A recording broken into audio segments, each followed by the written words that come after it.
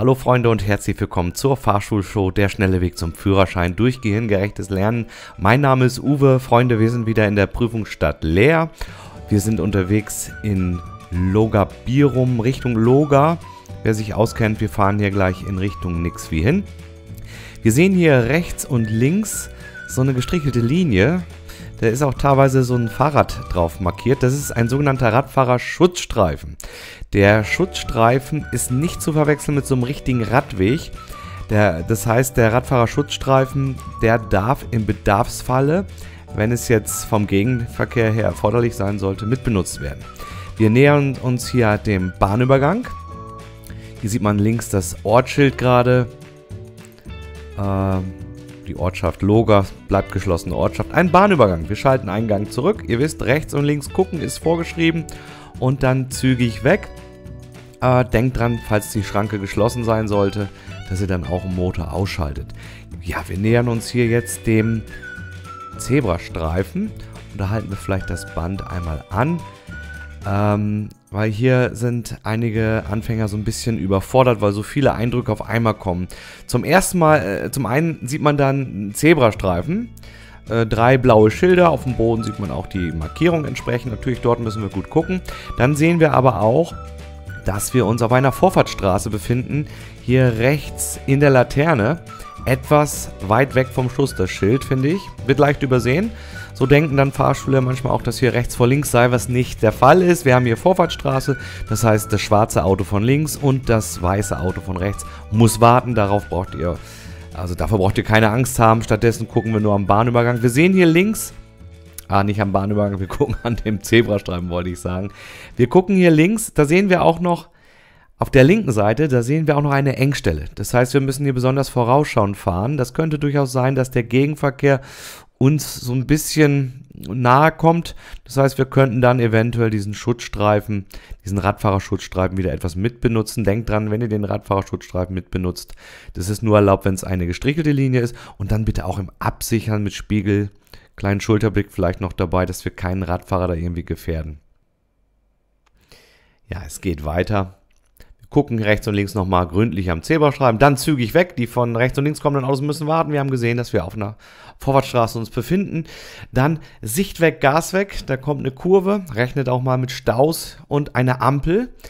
Und das ist wieder ein bisschen tricksig hier. Wenn nichts gesagt wird, möchte der Prüfer, dass ihr geradeaus fahrt und das ist hier die linke Spur.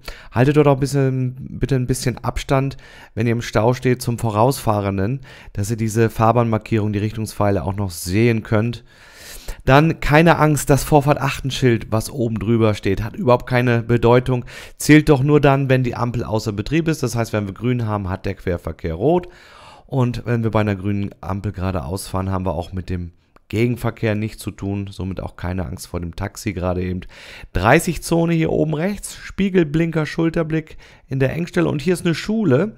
Rechts dort gut aufpassen, falls mal das Tor geöffnet ist, da können Kinder rauskommen. Dann haben wir eine Bushaltestelle, hier direkt hinter dem Postkasten und wir biegen links ab und hier haben wir dann rechts vor links, man sieht auch die Markierung auf dem Boden. Ähm, und ihr achtet auf rechts vor links und natürlich auf den Gegenverkehr. Schulterblick hinten links noch machen. Und dann geht's weiter. Wir konnten gerade sehen, dass wir uns in der 30-Zone befinden. Man sah das auch auf dem Boden nochmal markiert. Hier sieht man es nochmal unten auf dem Boden. Und wir möchten bitte einmal umkehren. Ja, da haben wir eine super Gelegenheit hier auf der rechten Seite. Meistens sind die Prüfer so fair, dass wenn sie dann das Umkehren verlangen von euch, dass dann auch eine, gleich eine gute Chance kommt rechtzeitig blinken. Alle Himmelsrichtungen müssen abgecheckt werden. Das Umgucken bei der ganzen Geschichte in alle Richtungen ist das Allerwichtigste. Äh, da können noch mal Kinder spielen. Dann beim Losfahren noch mal gucken, auch blinken. Und ihr kommt dann sofort wieder rechts vor links. Der olle Weg, ganz schlecht einsehbar. Ja, und in solchen Wohnsiedlungen, in solchen 30-Zonen, da rechnen wir nicht nur mit rechts vor links, wir rechnen nicht nur mit Kindern, wir rechnen auch mit Verbotsschildern und vielleicht verkehrsberuhigten Bereichen. Und hier haben wir ein Verbotsschild. Geradeaus ist verboten. Da müsst ihr rechtzeitig fragen, rechts oder links. Denn ihr müsst euch schließlich auch noch richtig einordnen.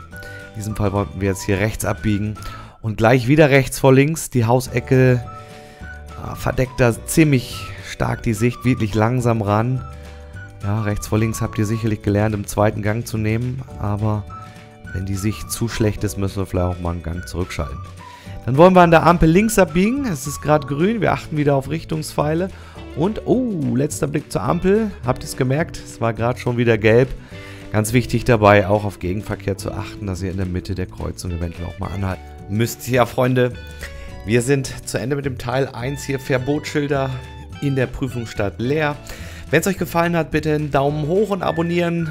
Somit verpasst ihr auch keine weiteren Folgen. Wir versuchen hier mal alle Prüfungsecken mehr oder weniger so aufzugreifen und euch nach und nach zu präsentieren. Ähm, ja, nochmals, ähm, wir können natürlich immer nur das Ganze so euch zeigen, wie wir es zum Zeitpunkt der Aufnahmen vorgefunden haben. Also keine Gewähr, dass sich Verkehrsführungen, Schilder oder Beschilderungen ähm, nicht doch irgendwann mal ändern können. Ne? Also das, denke ich, versteht sich von alleine. Also achtet drauf falls sich mal irgendwo was geändert hat. Ne?